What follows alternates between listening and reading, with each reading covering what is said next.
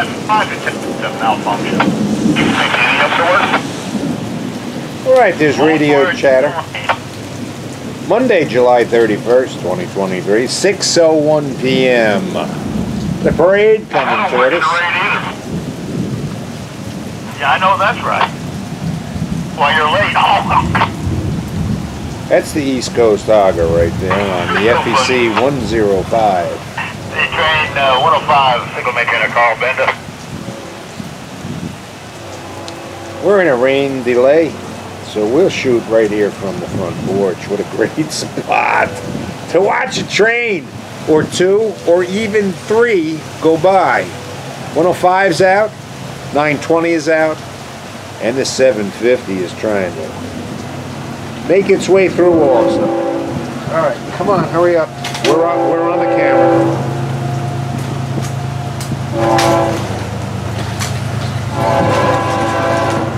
Here we go. This is 105, yeah, uh, single maker in a Carl Bender. 806 300 818 511. Auto racks on the head end. Need to do some tree trimming here tomorrow. Uh, no problem. We'll be back to five weeks. We'll be back. Thank you very much, guys. Now, empties, deep wells, No problem. being balanced.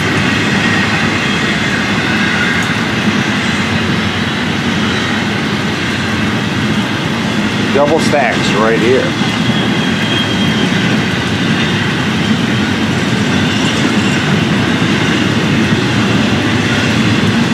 Stacks there, and you know that there will be piggybacks right here. Listen, another horn. The 920 will come in on the west main. See them in just a moment.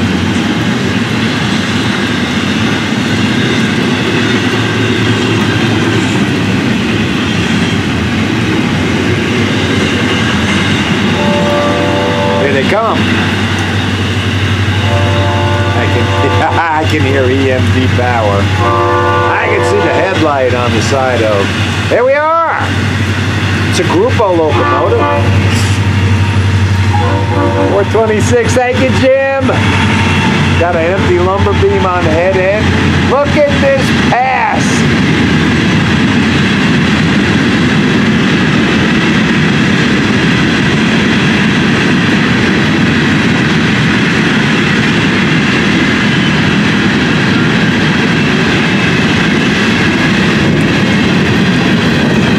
and they will rattle their way down to Fort Pierce Yard. Two trains in the rain.